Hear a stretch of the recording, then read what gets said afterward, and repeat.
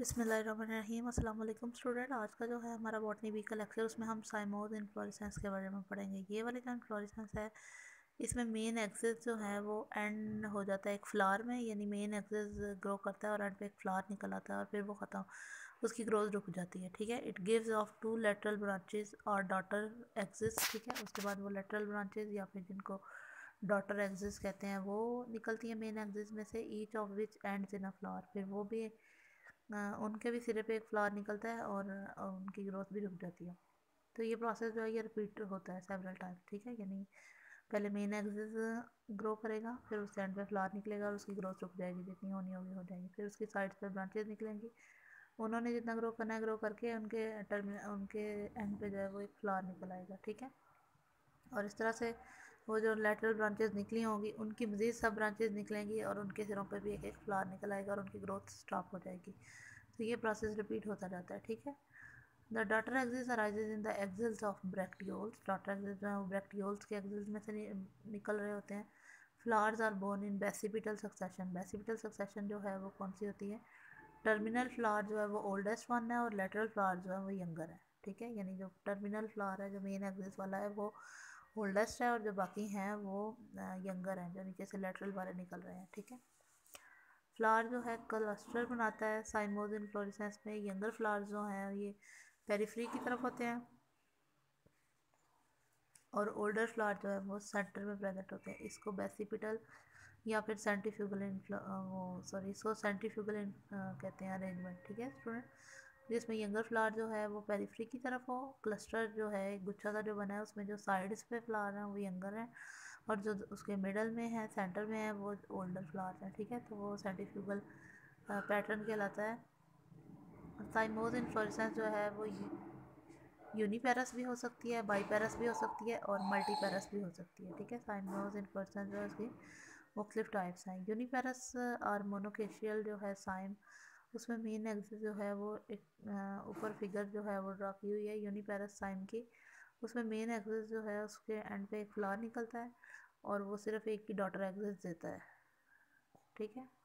Daughter axis एक ही daughter axis बनता है।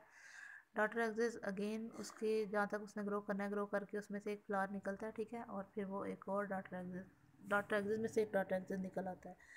फिर डॉटर एक्सिस जो है वो ग्रो करता है और उसके एंड पे फिर फ्लावर निकल आता है और फिर वो एक और इस तरह से जो है वो अपनी ब्रांच दे देता है।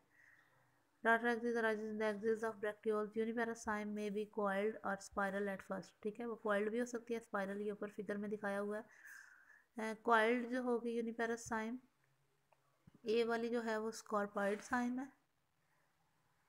ठीक है? और उसके बाद बी वाली जो है वो स्कॉर्पाइड साइन विद स्ट्रेटनिंग सी जो है वो बाई पैरस है। ये ऊपर स्टूडेंट फिगर में दिखाई हुई है। अच्छा स्कॉर्पाइड साइन जो है, ये भी अभी हम लोग पढ़ लेते हैं कि ये कौन सी वाली है बट क्वाइल्ड और स्पायरल दोनों टाइप की यूनिपेरस साइन हो सकती है। लेकिन but later it become straight to form a false central axis called sympodium therefore, it is called sympodial sign. There are two forms of uniparasime scorp, scorpioid sign, ठीक है, और helicoid Saim scorpioid Saim जो है, इसमें क्या होता है कि न्यू एग्जिस डिवेल्प अल्टरनेटली यानी एक एग्जिस ओल्ड मेन एग्जिस जो है, वो ग्रो करके उसके टर्मिनल फ्लावर निकला है, जहाँ तक उसने ग्रो करना था, हो गया. अब जो निकल रहे हैं लेटरल ब्रांचेस या फिर डॉटर एग्जिस जिनको हम कह रहे हैं, वो एक एक साइड से निकलता है, दूसरा दूसरी साइड से, फिर एक साइड से, फिर दूसरी साइड से। तो ये अल्टरनेटिवली निकल रहे होते हैं। उसको हम कहते हैं स्कॉर्पाइड साइन ठीक है? उसके बाद जो है हेलिकॉइड साइन में क्या होता है कि new axes develop on the same side for example in begonia ठीक है? एक ही साइड पे जो न्यू एग्जिस्ट हैं, वो बनते जा रहे होते हैं। तो उसको हम कहते हैं हेलिकॉइड साइन तो ये हेलिकॉइड साइन की एग्जांपल हो गई। उसके बाद जो है वो बाई पैरस और डाइकेसियल साइम इसमें जो है वो क्या हो रहा होता है कि main axis end in terminal flower main axis end पे स्टॉप कर देता है ग्रोथ उस, वो साइड पे दो डॉटर एक्सिस दे रहा होता है।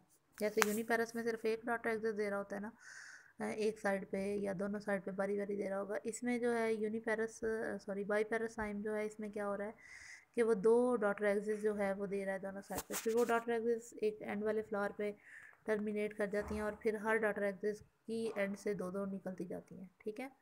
तो ये वाली जो टाइप है, इसको कहते हैं यूनिपेरासाइम मल्टीपेरासाइम जो है या फिर पॉलीकेसियम इसमें main axis end in a flower and produces whorl or of three or more daughter excess ठीक है? उसके नाम से ही पता चल रहा है मल्टी पैरासाइम है तो उसमें मेन एग्जिस जब एंड कर जाता है ग्रो करना तो नीचे से वो तीन या ज़्यादा डॉटर एग्जिस जो हैं वो निकालता है, उसमें से निकलते हैं, ठीक है? तो जैसा कि यू फोरबिया की एग्जांपल में जाता है। उसके बाद आता है साइमोज हेड साइमोज हेड जो है ये अकेशिया किकर या अल्बेजिया जिसको शीरिंग कहते हैं, ठीक है? शीरिंग वाला दरख्त जो होता है।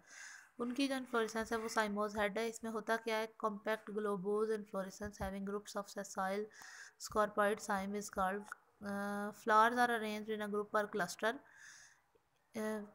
विच is score each of which is a scorpioid cyme ठीक है? मतलब बहुत सारे क्लस्टर्स होंगे फ्लावर्स के और हर क्लस्टर एक स्कॉर्पाइड साइम होगा। यानी हर क्लस्टर जो है ये कॉम्प्लेक्स किस्म की जो है वो अरेंजमेंट होती है सेसाइल स्कॉर्पाइड साइम्स होते हैं।